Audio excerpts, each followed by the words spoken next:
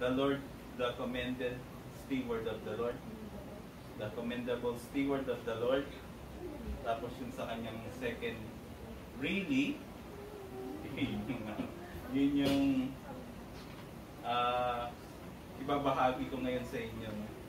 Okay, bago po tayo magsimula, ako muna po yung mananalangin.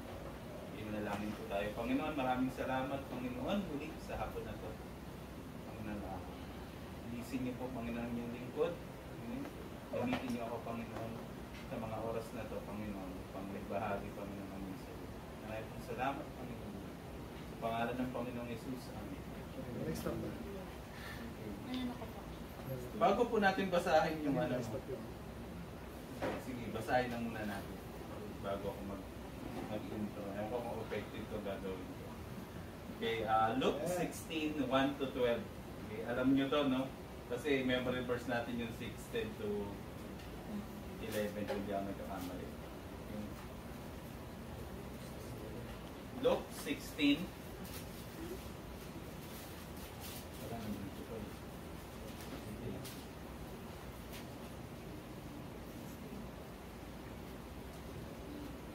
Luke 16, 1 to 12 po ang babasahin natin. Okay? Nandiyan na po ba kayo sa inyong mga Bibles? Okay? Babasahin ko po yung una. Sun- Sundan niyo po. Kayo po yung susunod sa lahat ng uh, even. Akin po yung odd. No? Okay, basahin po natin. And he said unto his disciple, There was a certain rich man which had a steward, and the same was accused unto him that he had wasted his goods. And he called him and said unto him, How is it that I hear this of thee? Give an account of thy stewardship, for thou mayest be no longer steward. Then the steward said within himself, What shall I do? For my Lord taketh away from me the stewardship, and I cannot dig. To beg I am ashamed. I am resolved what to do, that when I am put out of the stewardship, they may receive me into their houses.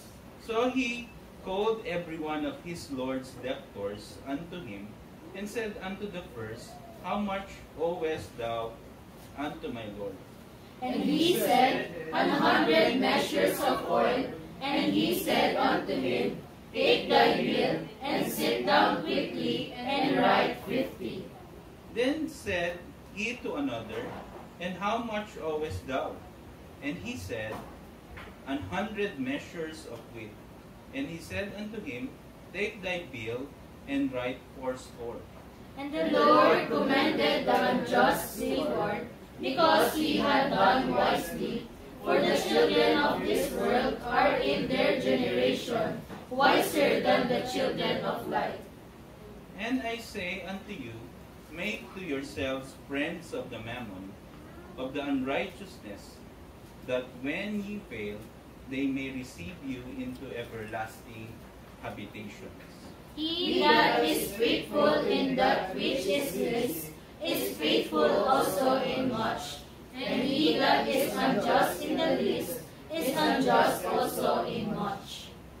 If therefore ye have not been faithful in the righteousness, righteous mammon, who will commit to you, to your trust, the true riches?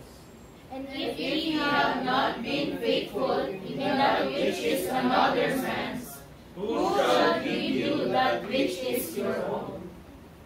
Yan po yung ating text ngayong umaga. Pero bago po dyan, magbibigay lang po ako ng po, effective po sa inyo. Meron po ako da- dalawang uri ng pera. Meron po ako dito isa. Pera rin to ah. Meron ako 5. Okay? Meron ako 5. At meron ako 1,000 peso. Bago yan. yan. Kita ko kayo dyan. Yun yung bagong 1,000 peso. Yung agila. Nawala na yung tatlong ulo. Okay? Itong 5, bibigay ko kay DM. DM, pahawakan mo. Yung 1,000, kay Ezekiel, papahawak ko. Hindi ko bibigay Ezekiel ah. 1,000 name. Okay? Okay. So tingin nyo, sino kayo mag-aalaga sa dalawa? Doon sa binigay ko. Na? Saan kayo? Basta kayo mag pagbibigyan nyo ng ano, ng pag-iingat, um, bibigyan nyo ng sisecure ng maigi, no? Si Nanay Joan, ayaw pa nga patupi sa akin yan. eh. Saan kaya yung dalawang bill? Pareho naman silang bill, pareho na silang pera. Actually, isa coin, isa bill. Pero, pero pareho silang pera. Okay, magkaiba nga lang ng value. Pero pareho silang pera. Yan, kahit mawala ni DM yan, okay lang ba? Okay. Okay lang ba yun? May iwawala ni DM yan? Okay, yun yung ngayon yung kwento ko sa inyo. Kung ano yung standard ng Panginoon sa pagtingin sa mga pinagkatiwala sa atin. Okay? Ano yan? Kuhanin ko na yan. Patay akong video ano. Salamat kung sa akin. Okay, sana kung lalabas sa ATM, puro ganito eh. Hindi ka eh. Okay, basahin lang natin yung kwento. No? Pero bigyan muna natin ng background. Sino ba kausap ng Panginoon dito? Okay? Okay? And he said unto his disciple, pero bago yan, may kausap pa siyang iba. If you're going to go back in Luke 15, nandun talaga yung pinakakausap niya. Yung buong kausap niya kasi part lang yung mga disipulo. Okay? Sabi niya sa Luke 15, okay, Then he drew near unto him all the publicans and sinners for to hear him. And the Pharisee and the scribe murmured, saying, This man receiveth sinner and eateth with them. Ito yung pinaka-background niya. Kasi pagdating dun sa 16, kaduktong lang siya nun eh. Yung 16. And then, and he said, there was a certain, okay, parang kaduktong lang to, no, ng pinakakwento. No? Yung 16, yung 15, nandun yung prodigal son. Yun yung kwento ng prodigal son. No? May pinapatamaan ng Panginoon doon. Okay. Pero bago natin i-reveal yung pinaka-ano dito, bakit really yun, yung second ano ko, talaga bang kinoment ng Panginoon yung steward? Basahin natin, ano? Balikan natin yung kwento. Meron ditong dalawang character. Tama? Yung kinikwento ng Panginoon, may dalawang character. Sino yung unang character? The rich man and the steward. Tingnan natin. Tapos meron pang, actually meron pang ibang mga character, pero mga, ano ba yun sa supporting roles lang, no? yung mga pinautang, yung mga nag-owe dun sa rich man. Okay? Basahin natin. He said unto his disciple, There was a certain rich man, isang mayaman, which had a steward, and the same was accused unto him that he had wasted his goods. No? Ako, kami mga steward bilang empleyado. Di ba? Bilang empleyado, meron kami mga boss. Yung boss namin may mga boss. Yung boss ng mga boss namin may boss pa yun. Tapos yung pinakatuktok ng pinaka-boss na yun, si MVP. Si Manny, Manny Pangilinan, ano? Si Manny Pangilinan may boss pa yun, ano? pero wala na akong pakala kung sino man yun. Kasi mas may account ako kay Ma- Manny Pangilinan. Okay, gets nyo? Ngayon kami, kunyari ako, meron akong under na tao, boss din ako, di ba? Ng tao ko. Pero, lahat tayo, lahat kami nag-account. No? Anong ginagawa mo? Kunyari sa isang buwan, anong ginawa mo? Sa isang quarter, anong ginawa mo? Sa isang half a year, anong ginawa mo? Sa isang taon, anong ginawa mo? Lagi kaming nag-account. No? Pag kami, nag-account doon, tapos nakita na wasteful kami, wala kaming ginagawa, anong ginawa mo? Wala. Pwede ba yun? Pagka wala kang ginawa, ano kayang mangyayari sa'yo? Pwede ka matanggal. No? Poor performance. Mababa ang iyong performance. Matatanggal ka nun. Pagka palaging poor yung score mo kasi ginegrade ka nun sa, ibu- sa buong taon. Ay, parang ka rin pala nag-aaral, sir. Oo. Para kami nag-aaral pero pinapasa out kami. Yung prinsipyo ng pag-aaral, the same. Okay, magbibigay ka ng account, mag exam ka. At the end of the year, kung natuto ka talaga o hindi. Okay? Same principle, hindi na-apply. Okay? So, nasabi dito, and he called him, inawag daw siya, and said unto him, How is it that I hear of thee? Eh, naririnig, nabubulong na alam natin, ang tunay na, ang totoo, dapat ma mariringgan yung two or three persons, di ba? Ito, loko-loko talaga itong anong to, steward na to. Gangster tong steward na to. Okay? Normally, yan ang biblical principle, no? Para maging totoo ang isang paratang, dapat yan ay sinabi ng two or three persons. Or marami, lalo na. Okay? How is it that I hear thee, uh, I hear this of thee? Give an account of thy stewardship, no? In-account na siya, for thou mayest be no longer steward. Okay?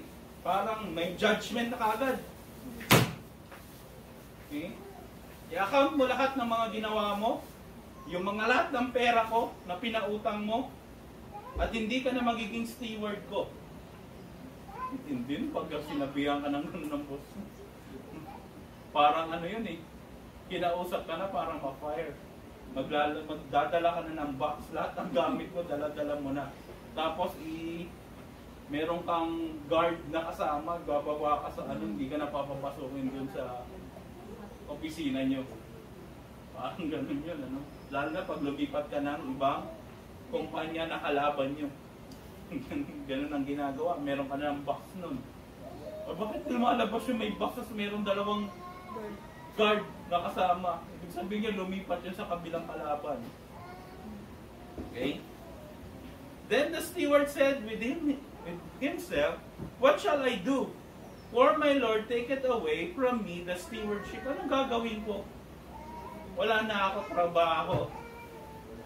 Okay? I cannot dig. Okay? To beg, I am ashamed. Okay? Ano yung inisip ng steward? Wala na siyang trabaho? Ano ba yung sunod niyang inisip? I cannot dig.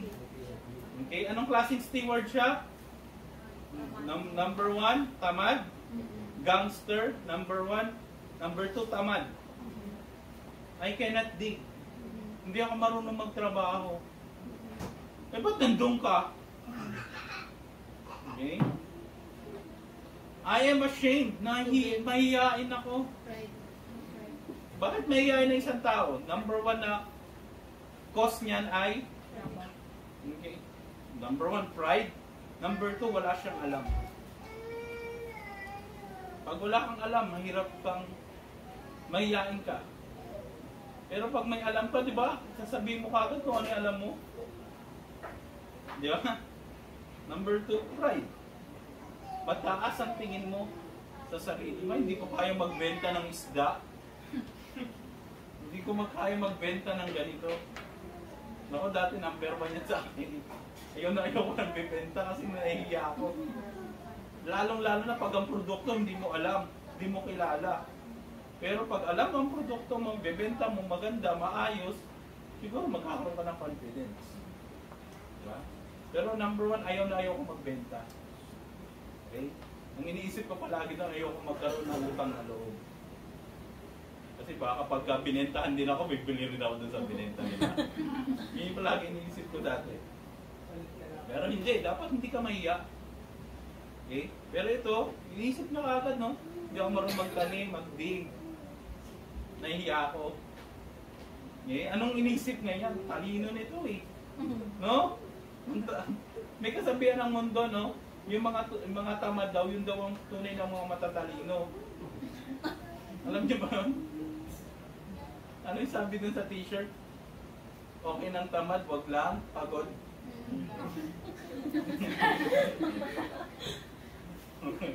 Tawa si DM. Okay? Tama ba yun? Pinapakita dito na mali yun, di ba? Okay, tingnan natin. Yan, nakapag-isip na siya ng scheme. He create his own scheme. Ganun siya katalino, kaning. No? Tamad eh. No? Aabutin mo na lang yung baso, gagawa pa yun ng ano, robot na aabot ng baso.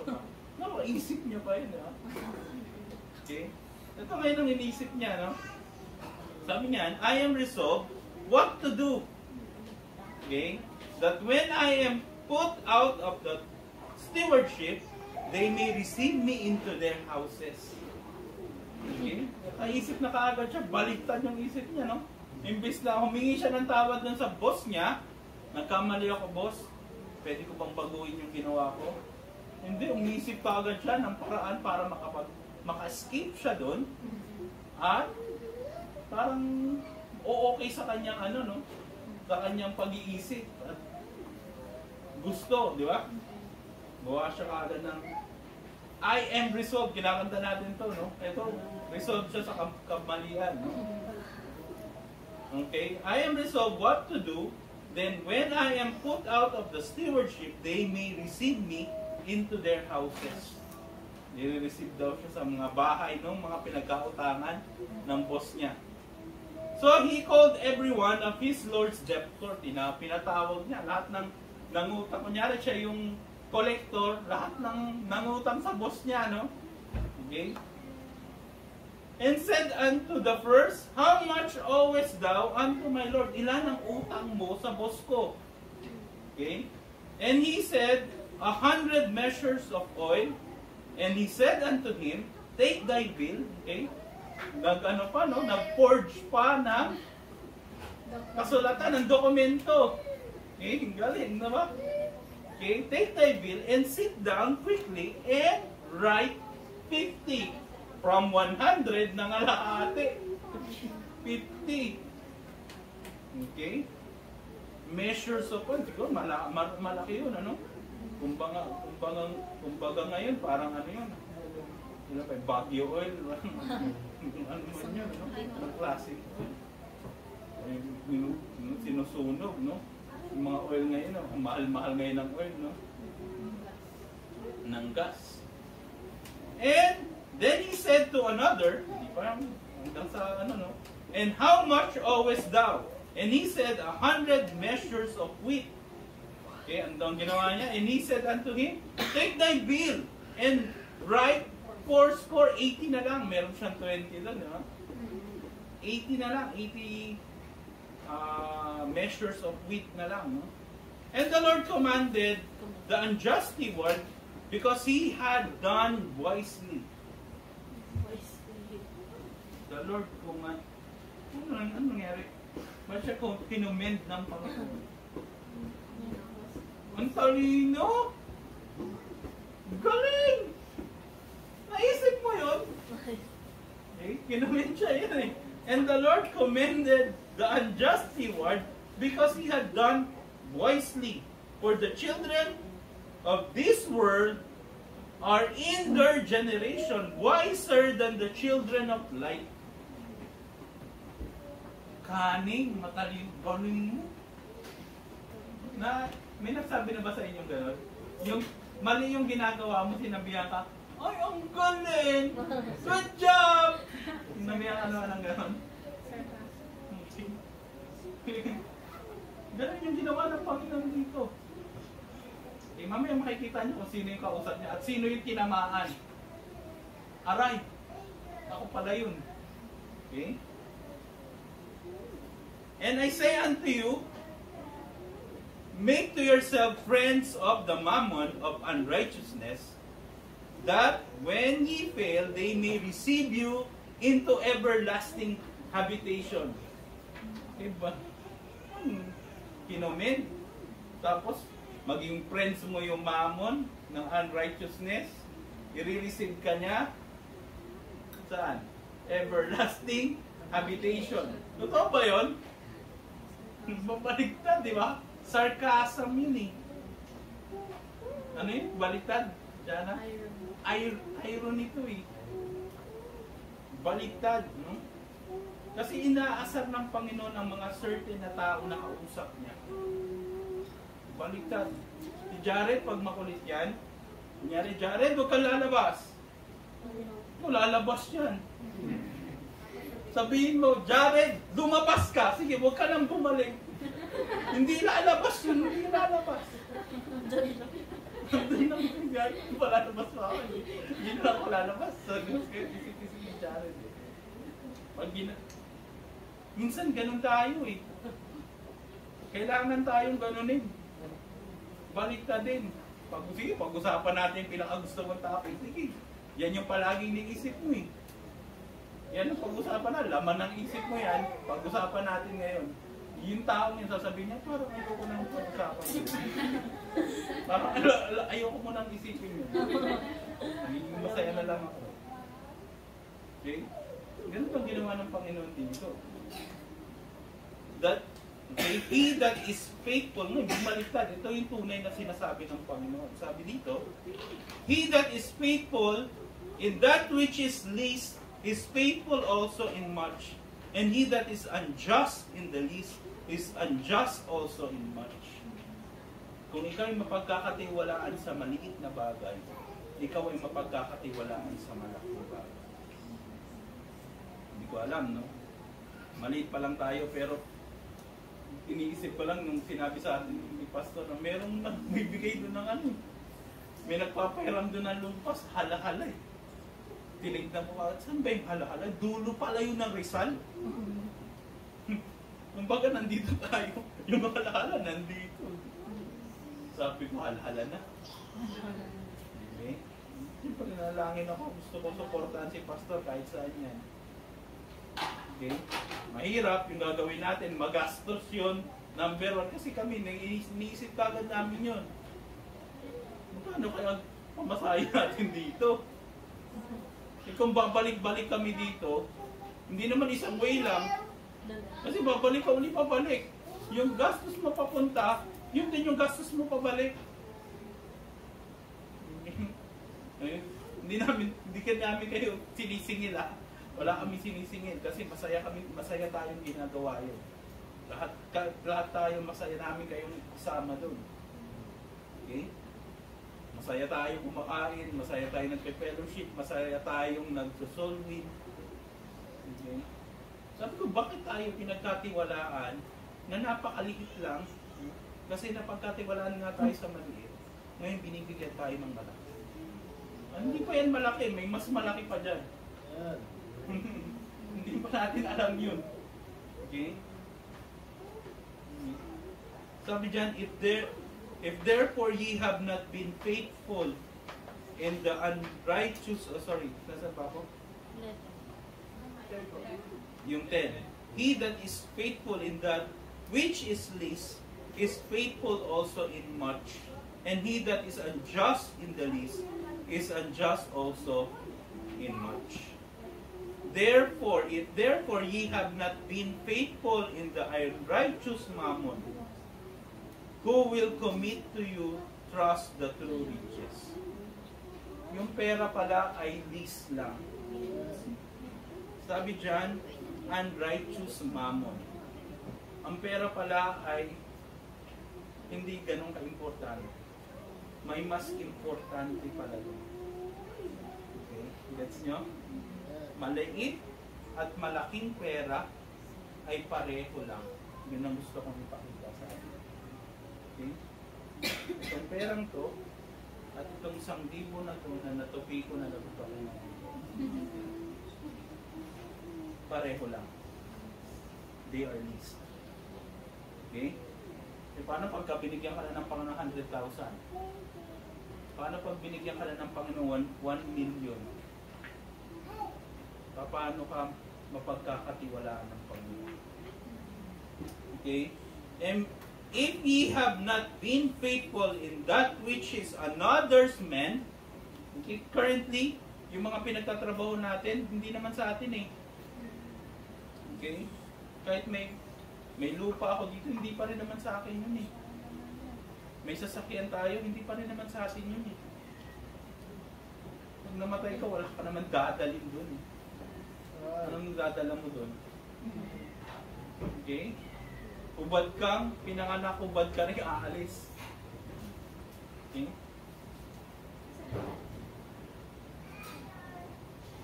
Okay. Gusto kong dito?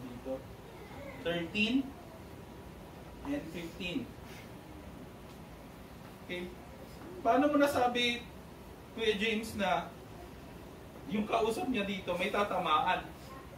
Sabi sa 14, And the Pharisees also, who were covetous, heard all these things, and they rided him. 15, And he said unto them, Ye are they which unjustly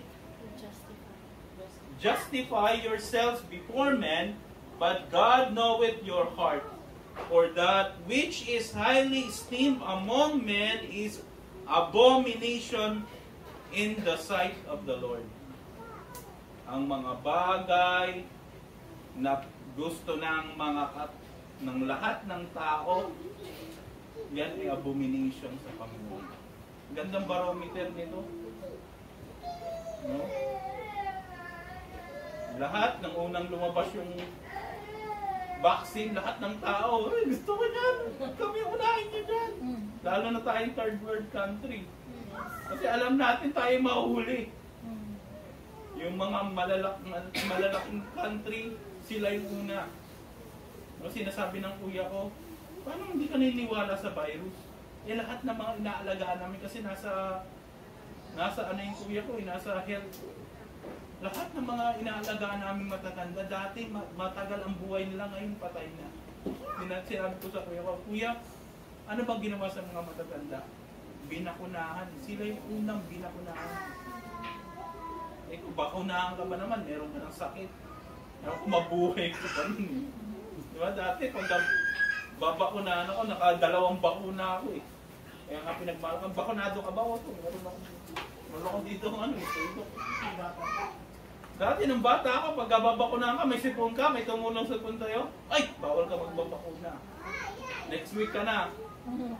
Ngayon, pagka, ay, may sakit ka, may comorbidity ka, meron kang hypertension, meron kang, ikaw yung unang babakunahan.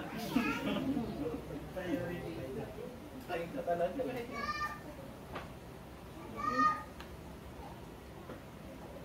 Okay. You got the point? Nakuha niyo po yung punto. Napakasimple lang po, no? Memory verse natin. Nakita ko, hmm, ano bang gusto iparating ng Panginoon? Okay? Dati nung una kong binasa yung part na yon, hindi ko maintindihan, bakit kinumend ng Panginoon yun?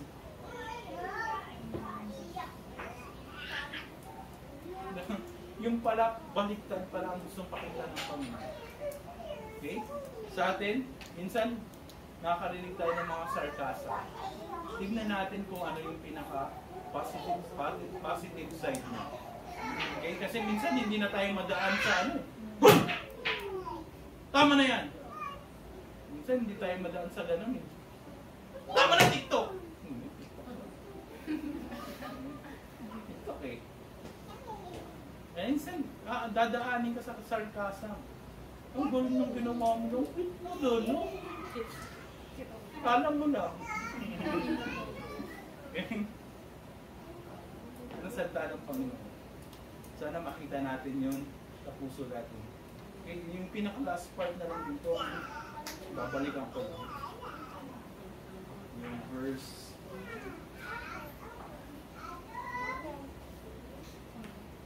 Okay, pagdating dyan sa Luke 16, uh, 16.13, sabi dyan, No servant can serve two masters, for either he will hate the one and love the other, or else he will hold to the one and despise the other. Ye cannot serve God and mammon. Hindi natin mapagsisilbihan ang ating Panginoon, pati ang pera. Or kahit na ano man yan, na hihigit sa ating Panginoon. Okay? Yun na po yun.